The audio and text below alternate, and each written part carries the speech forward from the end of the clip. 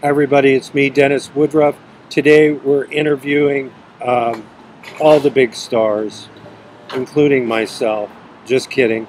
Uh, American Sniper is a wonderful movie. You can't go wrong with the wonderful techniques of storytelling by Mr. Clint Eastwood. He's a wonderful, um, controlling person. Uh, he controls all the cinematography. He's got a great cinematographer but the directing and the storytelling, you can't go wrong with a Clint Eastwood movie now and in the future, I'm sure.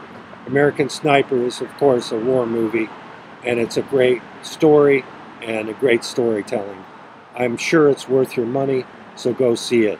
I'm Dennis Woodruff, and don't forget to download my movies. Right here it says, for only $2. You did a good job, Mr. Eastwood.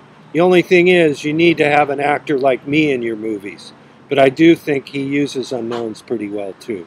So use me too, Clint.